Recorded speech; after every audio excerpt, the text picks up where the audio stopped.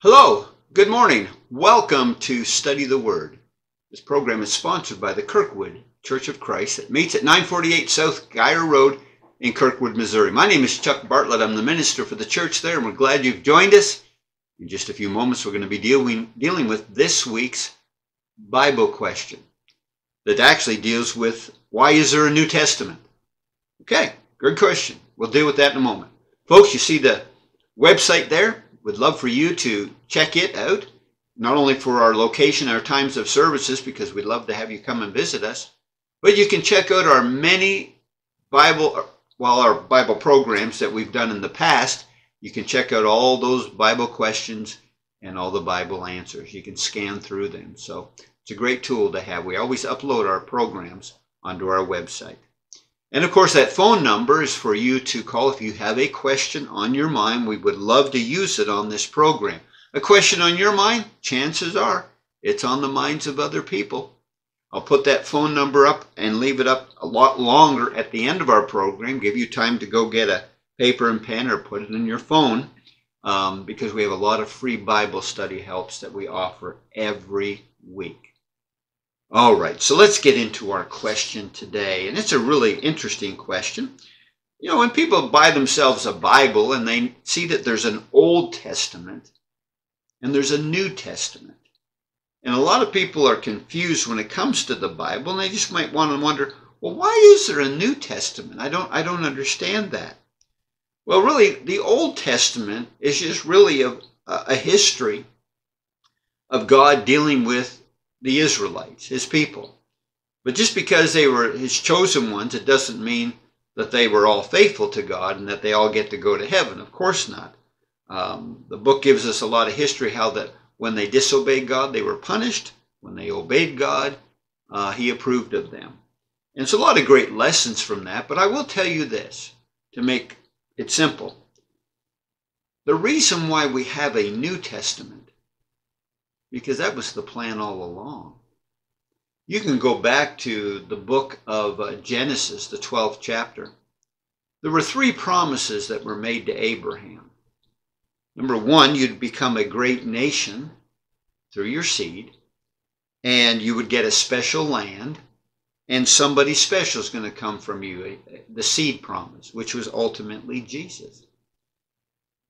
The first two promises were already fulfilled. That's another study, of course, but that third promise that all nations would be blessed. Now, for all nations to be blessed, we would need a new law, a New Testament. As long as there was the old law in place, the law of Moses, there was going to be a wall between the Jews and everybody else, which, which were referred to as Gentiles. Now, I'm not making that up. You know, that's not my own wording. That's I'm actually quoting from the book of Ephesians. Because he tells us in in the second chapter about this wall that needed to be broken down. He says in verse 13, but now I'm in Ephesians chapter 2 verse 13.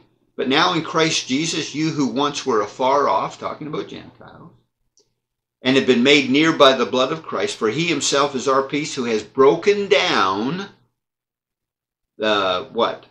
Broken down the middle wall of division between us, having abolished in his flesh the enmity that is the law of commandments contained in ordinances, so as to create in himself one new man from the two, thus making peace that he might reconcile them both to God in one body through the cross, thereby putting to death the enmity. So there can be unity for all people if they take a hold of that new law, that New Testament, the law of Moses done away with. Now, I want to first take a few moments to tell you that this shouldn't have surprised people when Jesus came on the scene and was going to bring a New Testament a new law. Because the prophets of old, in the Old Testament, prophesied about it. I'm going to read a little bit here, and it's going to sound familiar to you when I go to the New Testament. But I'm in Jeremiah. It's real easy to remember. Jeremiah 31, 31. That's where I'm going to start. But I'm going to read Jeremiah 31, 31 through verse 34. Listen to what the prophet said way back then. He said, Behold, the days are coming, says the Lord, when I will make a new covenant with the house of Israel and with the house of Judah, not according to the covenant I made with their fathers in the day that I took them by the hand and led them out of the land of Egypt. My covenant which they broke, though I was a husband to them, says the Lord. But this is the covenant that I will make with the house of Israel after those days, says the Lord.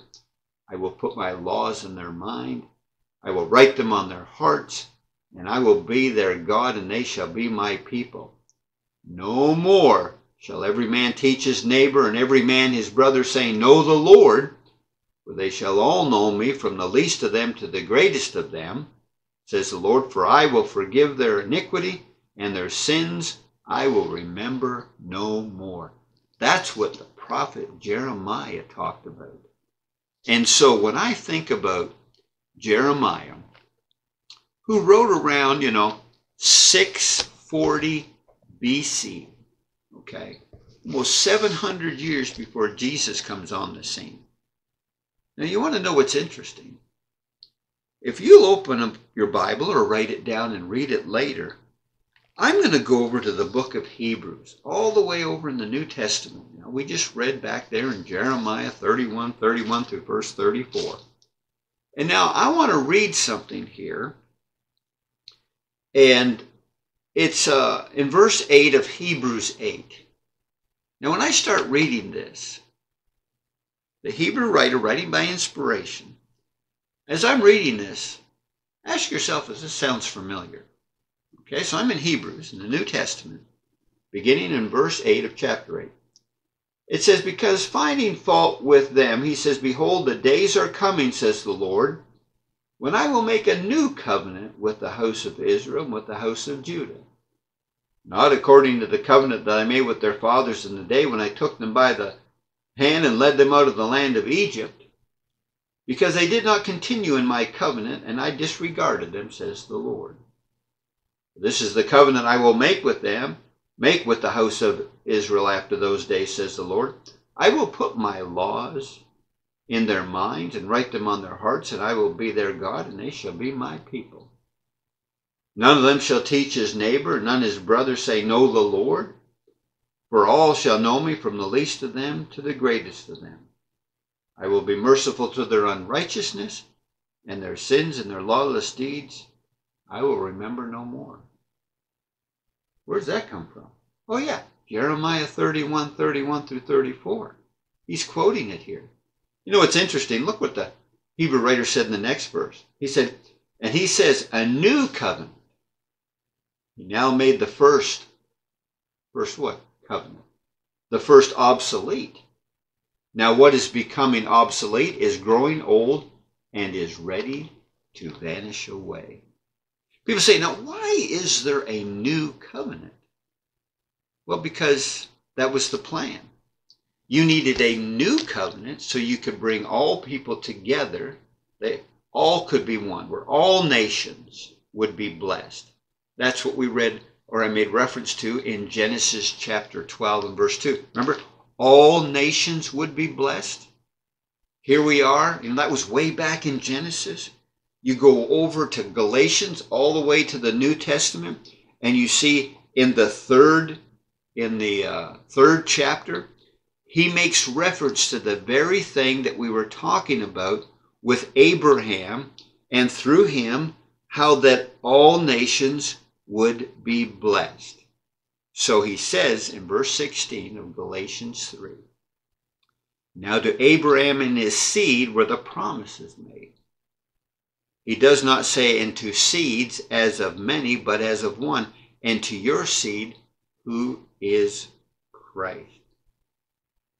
So here it is. We are under this new covenant. Now look what he says in verse 17, because some people, you know, want to make a big deal about the law of Moses. He says in verse 17, This I say that the law, about the law of Moses, which was 430 years later, that came after what? Cannot annul the covenant that was confirmed before by God in Christ that it should make the promise of no effect. For if the inheritance is of the law, it is no longer a promise, but God gave it to Abraham by promise. So here's this promise way back in Genesis. 430 years later, there's the law of Moses. And then way over here, we have the new covenant. And what Paul is writing to the Galatian brethren, don't put so much emphasis on the law of Moses, because before the law of Moses, 430 years before that, God gave this promise to Abraham that in his seed all nations would be blessed. He's telling us in Galatians chapter 3 that seed promise was fulfilled in Jesus. And Jesus was going to bring a new covenant. That was part of the plan, folks. Now, this new covenant that we have, when did it come into effect? That's a, that's a great question. So when I go back to Matthew, the book of Matthew, the 26th chapter, we see Jesus talking about the fact that he's he's going to die. So he's talking about this this uh, Lord's Supper that he was going to institute, and he was talking about the bread. Now notice in the, in the fruit of the vine. So in Matthew 26 verse 26 it says, and as they were eating, this is the night of his betrayal. Jesus took bread, blessed it, broke it, and gave it to his disciples, and said, Take, eat, this is my body. He took the cup and gave thanks and said to them, saying, Drink of it, all of you. And notice verse 28. For this is my blood of the new covenant, which is shed for many for the remission of sin. You see, Jesus was going to have to die. People often ask that question, you know, why, why did Jesus have to die? Well, if we go back over to the book of Hebrews, we were in the eighth chapter, now we're going to be in the ninth chapter. Now, in the ninth chapter, he comes out and says in verse 15, Hebrews chapter 9, he says, And for this reason, he's the mediator of a new covenant by means of death for the redemption of the transgressions under the first covenant, that those who are called might receive the promise of the eternal inheritance. So Jesus' blood even helped those under the old law. And it's going to, in other words, the blood flowed both ways, those living after Jesus died and those that lived before Jesus died. Now, notice what he says in verse 16. He says, For where there's a testament, there must also of necessity be the death of a testator. For a testament is enforced after men are dead, since it has no power at all while the testator lives. Now we understand what Jesus was talking about in Matthew chapter 26. He said, This is the New Testament in my blood. See, Jesus died. And when Jesus died, that's when his testament became law. That's what it said right here in Hebrews chapter 9. Where there's a testament, there needs to be the death of a testator. So I have a will, okay, I have a will, but that will does not become law until I die. That's what he's talking about right here. So in our Bibles, we have an Old Testament. The word testament means like a, an agreement. Um, we have a we have a, a an agreement with our God, and so you have an Old Testament that existed between God and, and the Israelites. Okay, and they were to keep that law. Most of them didn't, of course. Most of them violated the Word of God. If you read over there in uh, Acts, the seventh chapter, you'll read about Stephen giving a great sermon that's telling these Jews that are before them, giving them a history of their forefathers, and coming right out and saying, Which of the prophets did your forefathers not kill? They didn't like to be told what God wanted them to do. They were very rebellious.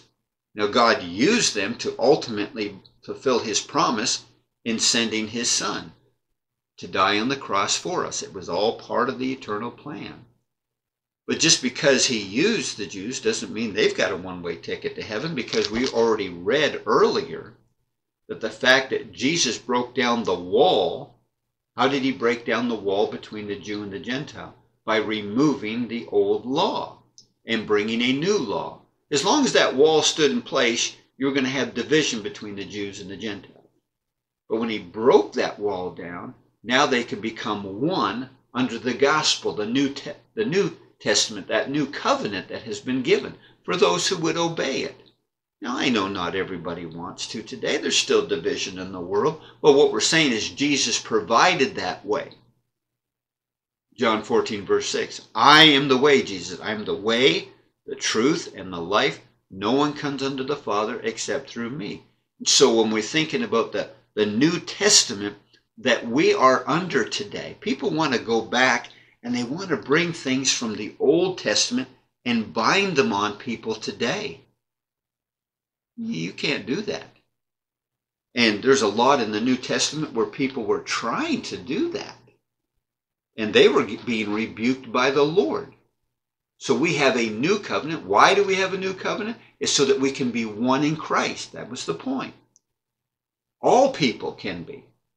Now, when we get back to that idea of bringing things over and the dangers of it, let me give you an example over here in Galatians chapter 5.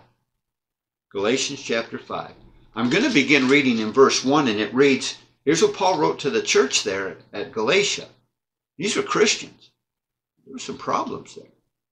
The problems in the first century that the, early Christian faced is when Jews were being converted and they were bringing Judaism in. They were bringing, they wanted to bind old law on people. And here's just an example. In verse 1 of Galatians chapter 5, he says, Stand fast, therefore, in the liberty, which means freedom, the liberty by which Christ has made us free. Christ did. Why? He, he gave us a new covenant. Now he says, And do not be entangled again with that yoke of bondage. Indeed, I, Paul, say to you that if you become circumcised, Christ will profit you nothing. And I testify to every man who becomes circumcised that he is a debtor to keep the whole law, you have become estranged from Christ. You who attempt to be justified by law, you had fallen from grace. He's talking about the law of Moses. That's what he says. And if you're going to go back, he says, if you're going to bind circumcision, then you're going to have to keep that whole old law. When you do that, you've separated yourself from Jesus, is what he's talking about. Now, don't don't fall victim to that, folks. There are a lot of religious groups are bringing things over and binding on them. And they're just nothing more than what we talked about last week the traditions of men. And, and, and you can see them all the time. You'll have people who will they'll wear special garments up front. Why? because the, under the Levitical priesthood, they wore garments that separated them from the rest of the children of Israel. They wore special garments. People want to bring that over today, you know, and you come in our services and we worship God, we all dress alike. Well, not exactly alike, but you know, I'm not wearing a special garment to separate me from the rest of the congregation, folks. I'm not more special than anybody else. Matter of fact, the Bible teaches in 1 Peter chapter 2, verse 9, all Christians are considered priests. And Jesus is our high priest. And so they're bringing things over and binding them. That's why we've had to deal in this program. People say, well, Chuck, what's the Bible teach about tithing? Well, remember, we're under the new covenant. The old covenant, tithing. New covenant, lay by and store, so we purpose in our heart. People want to bring those things over and bind them on the burning of incense they, they want to bring across. Yeah, the list goes on and on. And, and that's the problem that we're facing today because people are not wanting to accept the fact that we have a New Testament that everybody is to abide by. And Jesus said, you know, when, when he's talking about the truth that we have today, he's saying, go into all the world and preach the gospel to every creature. Now, there are times when people don't want to hear that. How many times have we turned over and studied Second Timothy chapter 4? Because Paul was telling a young preacher there, Timothy, look at you need to preach the word and be instant in season and out of season. Because there's going to come a time when they don't want to listen to sound doctrine, it says. The doctrine of Christ. That's 2 John 9. If you don't abide in the doctrine of Christ, you don't have God. Well, who does he mean there? I mean, what, what if some people just want to keep the Old Testament? No. You, everybody needs to abide in the doctrine of Christ. If you don't abide in the doctrine of Christ, you don't have God. This is why we have the New Testament. When you go back to Hebrews chapter 8, he says, Their sins and iniquities I will remember no more. Now, there's an interesting point, and we have time to make it. You know, in that reading, when it says in Hebrews chapter 8 that you won't have to tell anybody, Know the Lord, for all will know me, do you know what that means? What does it mean that you, you don't have to tell them to know the Lord? Well, see, under the old law, Jews were born an Israelite. They were born that way. And so they didn't they had to be taught know the Lord as a Israelite. As an Israelite, they the babies didn't even know who they were. So as they grow up, you know, you're an Israelite, you're an Israelite, you're an Israelite as they as they grew up. But you know what? When it comes to Christians, there's not a Christian on the face of this earth that when they become a Christian, you have to tell them, know, you need to know the Lord. Well, they couldn't become a they couldn't become a Christian until they did know the Lord. And so that's the difference between the two. You might be born an Israelite, but you're not born physically into the a Christian. You're not born a yeah, you are born again when you're older and you meet the prerequisites and you obey the gospel. We understand that. But I'm just saying my wife and I, if we have a child, when that child was brought into this world, they're not a Christian.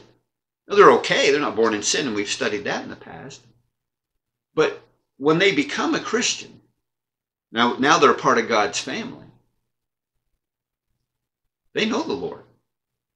And so it's things like that that, that that we need to rightly divide the Word of God, and we see the value of understanding that we are under the New Testament. Now, does that mean we don't read the Old Testament? We don't study the Old Testament? No, no. There's a lot of things that we study in the Old Testament. Matter of fact, we're told in Romans chapter 15 and verse 4, all things written aforetime were written for our learning. There's a lot of the Old Testament quoted in the New Testament. We learn about great men of faith. We learn about creation. We learn about the, the dangers of rejecting God and, and we learn about God's love and God's mercy and God's long suffering. We learned that God could have just made an ark, but you know what? He had Noah build it, and it took a long period of time. And Peter called Noah a preacher of righteousness. So you see the love of God throughout the whole Bible. But let's remember today's lesson, folks. Why is there a New Testament? Because that was part of God's plan from the very beginning that would unfold the scheme of redemption it was way back there in Genesis, and it was fulfilled in Jesus Christ. And when Jesus died, he brought us the New Testament in his blood. Matthew 26 and verse 28. Hope this has been a help to you. Maybe you have some questions that relate to that. I'm glad to do that. We can expand that on a, another program, but we're glad you've tuned in today. And now it's time to let you know that we have other free Bible study helps that you can learn and study the Word of God throughout the week. Don't have to wait for Sunday morning when this program airs. But if you would like to receive a six lesson home Bible study course, we'll mail you the first lesson. All you need, folks, is your Bible. You just open it up, look at the questions, and you just learn. And if you're not uh, afraid to learn the Word of God, We've often said the only thing that suffers from investigation is error. It's the truth that sets us free. if you'd like to study the scriptures in the comfort of your own home, call that number, leave your name and address on voicemail, or you can text us your name and address. We'll get that first lesson out in the mail tomorrow. Don't worry, nobody's going to show up at your door. You work at it at your own speed. When you're finished, you pop it in the return envelope that we give you. Has a stamp on it and you send it back, we check it over, we return it to you so you can hold on to it for future reference along with your next lesson. Now, there's something else that we could throw in with your first lesson. That's the two pamphlets. Every week we offer the 40 30. That's all you have to put in your in your text or voicemail, just say, send the 4030 tracts. What are they? 40 things that people are telling you, they're telling a lot of people in this world. Here are 40 things they're saying, this is in the Bible. But they're not. You look at those 40 things. And you say, what, what do you mean they're not in the Bible? I've been told they're in the Bible. They're not. And you could write me back and just say, hey, this is in the Bible, isn't it? I say, no, no, it, it's not in the Bible. You can look at those 40 things. Maybe you've been taught that. Maybe you believe them. But you need to look at that for, list of 40 things. When you do that, also request the 30. Those 30 things that are listed are things where people are saying, these things are not in the Bible. Yeah, they are. And there's the verse that proves it. Why people would get it up in pulpits across the land, why religious groups would say, this is not in the Bible when it clearly says it in the Bible. You need to look at those 30 things. So, so they're of interest to you. you. Go ahead and request them, and there's no charge for anything. That's not what this program is all about. We're not trying to solicit your money. We're trying to encourage people to open up their Bibles, listen to God, not become a follower of man, become a follower of the Lord. Now, you could be put on the mailing list if you would like. You say, Chuck, put me on the mailing list for the weekly bulletin. Just some additional teaching, some more learning of pointing you to the scriptures and learning some uh, other things like this program, other Bible questions and answers. So if you'd be interested in wanting to receive that, tell us, say, put me on the mailing list. We'll be glad to do that. No charge. Now we also offer for folks who say, you know what, I don't, I'm not a big fan of the course, but I would like to learn more. Can I have a face to face Bible study? If that's your question, the answer is yes. We'll be glad to. Come to your home or meet at a church building, uh, meet at a coffee shop, wherever you're comfortable. You can invite others. A lady that wants to learn more of the Word of God, I would come, but I would bring uh, my wife with me or somebody else so, so you wouldn't feel uncomfortable. If you would like a face to face Bible study, you can do that weekly, get together for 40, 45 minutes at a time that fits into your schedule, morning, afternoon, evenings during the week, or on the weekends. Would you like to join a small Bible class? You can do that. We've had others say that, and, and we have other Bible study groups you can join. If that's of interest to you, please let us know. Jot that number down. Have it handy. Maybe not right now you want to call. Maybe you want to call later.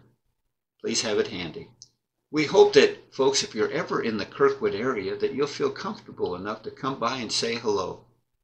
We've had a number of people show up, and we'll, and I've gone back and I said, "Well, what brought you here?" And they say, "Well, I saw the TV program, thought I'd come by and say hello." And we're glad they did. Folks, if you're in the area, come and be with us. Every Sunday morning at 9:30, we meet for a Bible study. 10:20 starts our worship, goes to about 11:30. We meet in the afternoons from 5 to 6 and then every Wednesday night at 7 o'clock to 8 o'clock, we have a midweek Bible study. Bring the whole family, classes for all age groups. You'd be our honored guest. We hope that you'll be a regular viewer of our program. Tell other people about that because we just give you a Bible answer to a Bible question. You tune in next week. We're going to open up our Bibles together. And yes, we are going to study the Word. Thank you and have yourselves a great day.